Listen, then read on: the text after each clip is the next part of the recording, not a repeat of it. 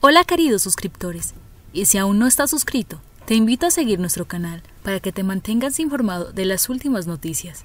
Aparatoso incidente dejó dos fallecidos y un lesionado por un incidente múltiple en Medellín. Las víctimas son un hombre y una mujer, ocupantes de una moto. Ocurrió en la avenida regional a la altura de la Universidad EFE. En las últimas horas, un aparatoso incidente múltiple que se registró en el sur de Medellín dejó dos personas fallecidas y una lesionada. De acuerdo con el reporte, en el hecho estuvieron involucrados cuatro vehículos, dos motos y dos furgones que transitaban por la avenida regional. Las víctimas son el conductor de una de las motocicletas y su acompañante. Este hecho obligó al cierre por cerca de una hora de la calzada oriental de la avenida regional, informó la Secretaría de Movilidad. Autoridades adelantan las pesquisas para establecer las causas del incidente. Esta misma semana falleció una reconocida pareja en la ciudad que se dedicaba al adiestramiento de perros. De Medellín, una volqueta sin frenos embistió a varios vehículos. Hemos llegado al final de este video. No olvides suscribirte, darle like y compartirlo en tus redes sociales. Esto me ayudaría mucho para seguir subiendo este tipo de contenido.